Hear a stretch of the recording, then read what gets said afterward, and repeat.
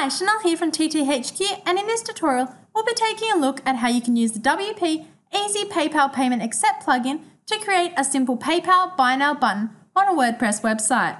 While there are many different ways around collecting payments for either goods or services on a website, among the simplest is a Buy Now button. A Buy Now button allows the customer to directly enter their payment details and purchase an item. These type of payment methods are commonly seen on websites where the customer would only ever be purchasing one item at any given time. Of course, the price of the product or service you are offering plays a role in whether the visitor proceeds to check out or not. The positioning of the button may also see you achieving a greater or fewer number of sales. After we create our Buy Now button using the WordPress plugin, you can then place your Buy Now button for effective sales within a blog post on your website sidebar using the widget tool within the About page of your website, on your website's landing page, or on your homepage. I've now arrived in my WordPress dashboard where I'll go over the steps required to create a Buy Now button. Once you install and activate the WP PayPal Payment plugin, under your WordPress settings menu, you'll see WP PayPal Payment. It's here when you click on this option that you'll be taken to the Accept PayPal Payment settings page where we'll need to configure a few details. In here, you can choose a WP PayPal payment widget title. So this will be the title shown when you add the widget to your WordPress website. So mine's just PayPal payment for now, but I'll just go. Underneath this, you'll see the field to enter in your PayPal email address. This is where all the money will go from goods or services paid via this Buy Now button. So just enter in your PayPal email address there. Here, choose your payment currency. So mine's set to US dollars, Although from the drop down menu, you can see there's a few options there. So under here is where you can see the payment subject.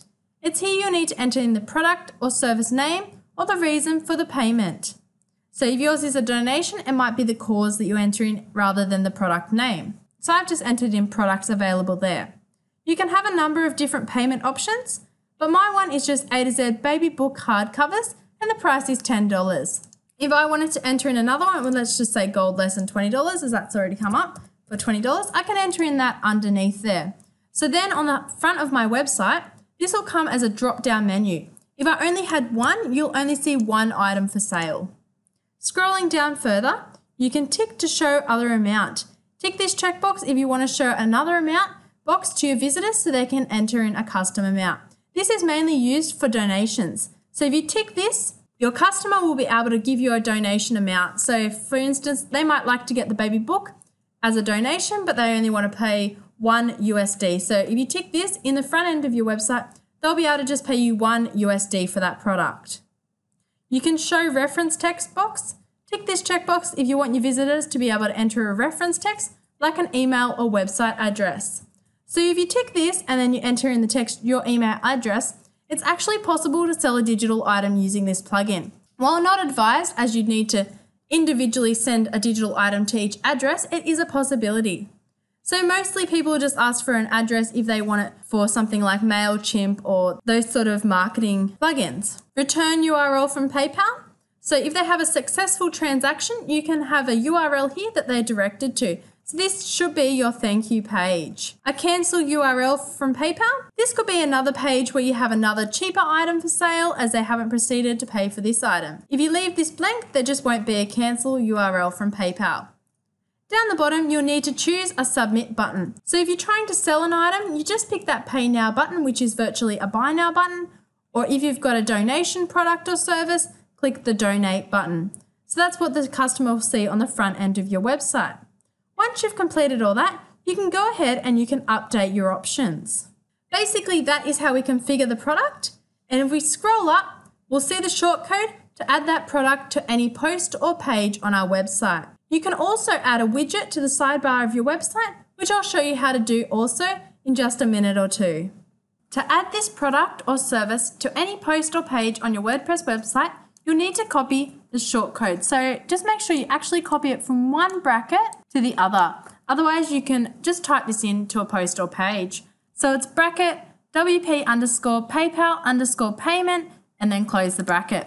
So I'm just going to copy this and I'm going to post it on a page.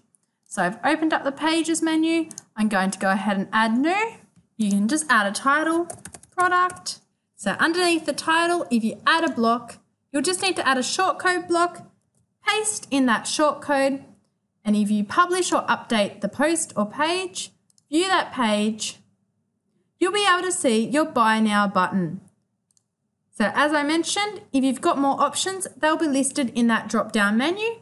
Although I only have the one product, so my customer would just select that and then they can follow on and click the Pay Now button. Clicking that Pay Now button allows them to go to PayPal and proceed with checking out with their PayPal account, or they may choose to pay with a card.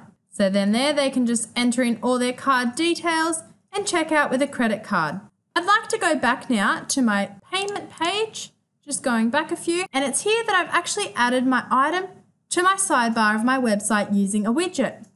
If I head back to my WordPress website, you can do this by clicking on Appearance and then on the Widgets menu. So from that Widgets menu, you can see here that I've just dragged it from here and put my WP PayPal payment buy now button on the sidebar of my website. So that's virtually how easy it is to add a buy now button either to a post, page, on your WordPress website or to the sidebar or basically anywhere that you can have a widget on your website. So that'll depend on your theme, although the sidebar is ideal as this is shown on every page basically that your visitor will go to. So that will constantly be seen by your visitors, increasing the likelihood of them clicking that pay now button. So that basically wraps up this tutorial on how to add a buy now button to your WordPress website. If you have any further questions or queries, please comment them below or head to the TTHQ forum and send us a message. I've linked below the plugin that I used to create the Buy Now button on my website. All the best in creating Buy Now buttons on your very own WordPress website.